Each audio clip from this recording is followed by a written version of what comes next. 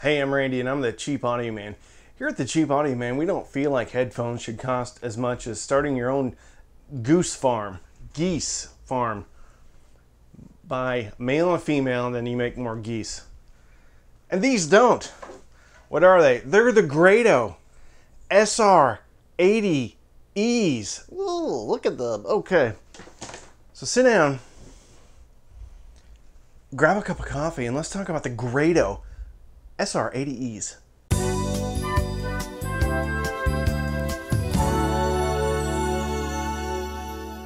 Today's sponsor is Long Sally Solder. Solder. It's real good. When you want to choose your the best solder available, choose Long Solder Sally. Sally Solder. I messed it up. All right, Grado SR 80Es. Uh, let's see if it. Okay, there, there we go. Okay, there we go. All right, let's turn that one around. Mm-hmm. Let's turn this one around. Mm-hmm. They're currently discontinued. Why am I doing a review on them? Because they're awful similar. From what I've read to the SR80X, I guess that's the new one. Anyway, they're about 100 bucks. I think the new one's maybe 130. So, these are the headphones that I hate to love. And I didn't like them when I first got them, but I got them as a birthday present from one of my patrons and one of big supporter of the channel from the very beginning. So, obviously he heard something in them, so I was going to stick with them.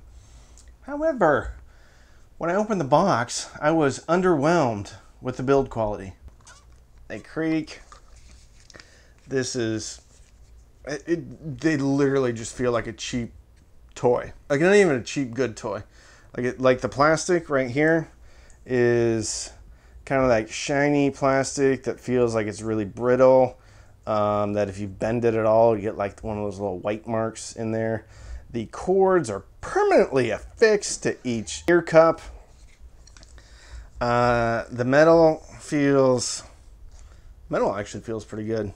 There's a, a, rubber stopper on the top so you don't stab yourself with the metal. The band is very thin, again, plasticky rubber, and there feels like there's maybe a piece of metal inside. And then the there's foam, all right? Feels like it's gonna wear out in about three days. The rest of the cord goes into this uh, V-looking thing. Uh, doesn't always lay right uh, terminates to a 3.5 millimeter jack, which incidentally, my first pair that I got, the 3.5 like shorted out. So just just like when I was growing up, I literally had to put like lean a book against it so it would press press it down just right. But when I sent them to Grado on warranty, they repaired them, came back, and guess what? These work just fine. So why do I hate to love these? Because after initially I thought they were shrill. Thought they had no bass, very bright on top, lots of detail, nothing, no lower mid range, no bass. But I kept listening to them. And then the bass opened up. Either they burned in or my brain burned in. Either way, when I first listened to these, they didn't have bass.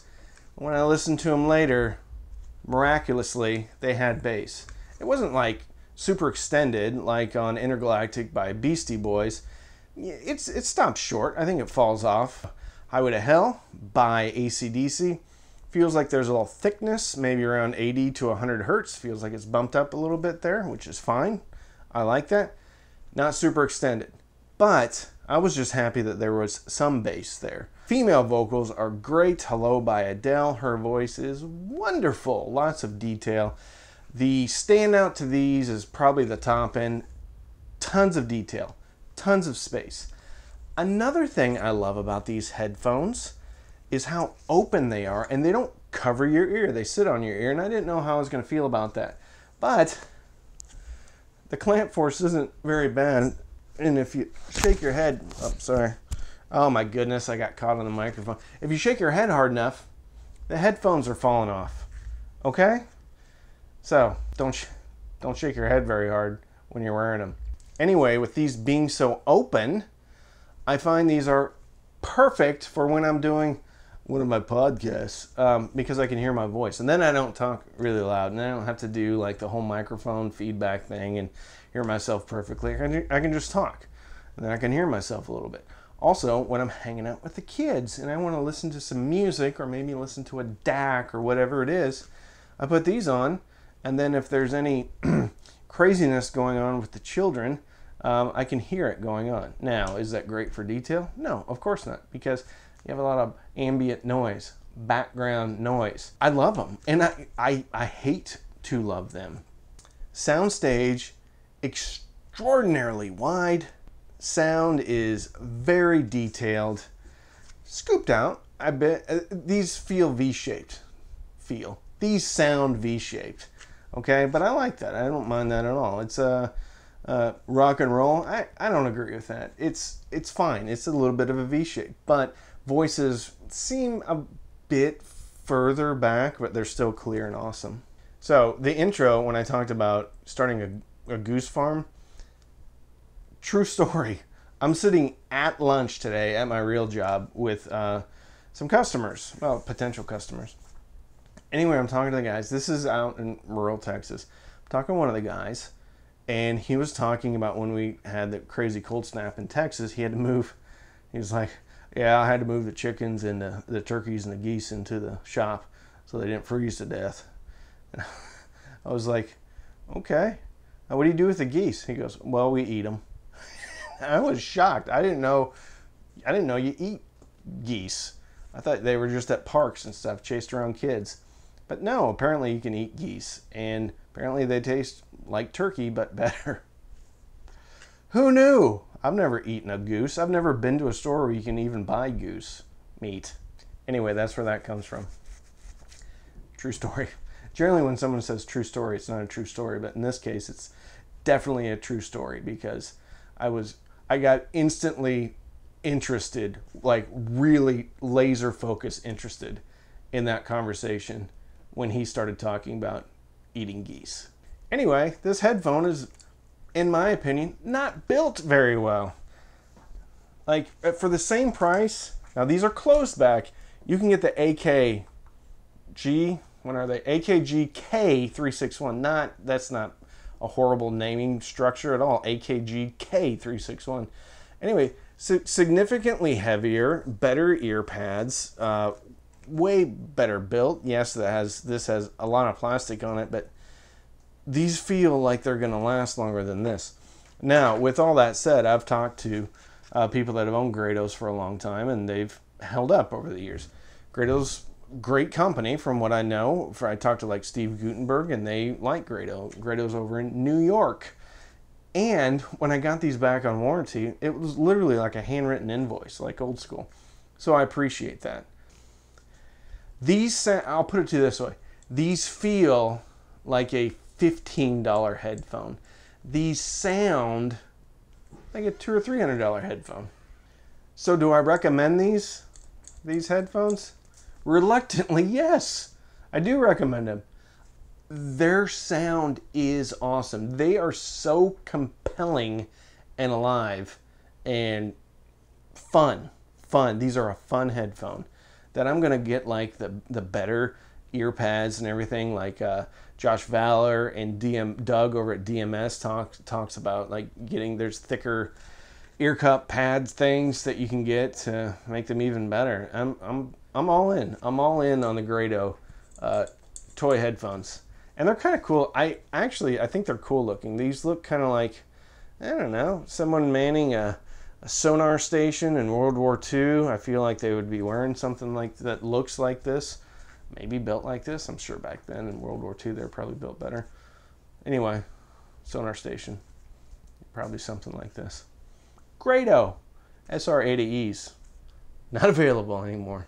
Great, great review, Randy. Yes, I know. SR80Xs, I think, are available now. So if you want to support the channel, you can sign up for Patreon. Patreon.com slash cheap audio man. Every Sunday night, we have patron only Zooms. We also have a patron only Facebook group. You can also sign up for Amazon Music. All tracks are CD quality or better. So if you're into high res, you want to hear the difference between high res and no res and regular res, then uh, check out Amazon Music HD for free. I think you get three months for free, and now you get some Disney Plus for free. I don't know how you get into that. Also, you can use the link links in the description. I'm going to link these. I think there's a couple left on Amazon, and then I'm going to link the link the SR80Xs if you want to uh, take a stab at those. Amazon, you don't like them, return them. But listen to them for a while because they did open up for me. I quite like them. By the way, I listened to these through the Helm Bolt DAC on a variety of products, including my Android phone, my Android tablet, uh, laptop, and then my desktop computer. Listen to them also through the High Diz S's High D's S90 Pro, I believe. It's also a dongle DAC. These are also pretty efficient, so they don't need a, a ton of power. Anyway, don't binge watch anything on Netflix or Hulu. Binge, oh, wait a minute. Wait a minute. I forgot Homes for Our Troops. So, we're doing a raffle. CSS Audio reached out to me and we're doing a raffle. You can win a free pair Crichton 1TDs, as well as a bunch of amps, DACs, IEMs, a whole bunch of stuff put up by myself and my patrons, my viewers. So you can enter to win. So there's a link in the description. Click on the link. It goes to the Homes for Our Troops homepage. You can uh, donate. You can donate anonymously if you want to. You'll still be entered. I'll see your information. Still be entered, and then you can maybe win some stuff. So don't binge watch anything on Netflix or Hulu or HBO. Uh, binge listen through your new Grado SR80Es or X's and fill your soul with happiness. With that, I'm Randy. I'm the Cheap Audio Man.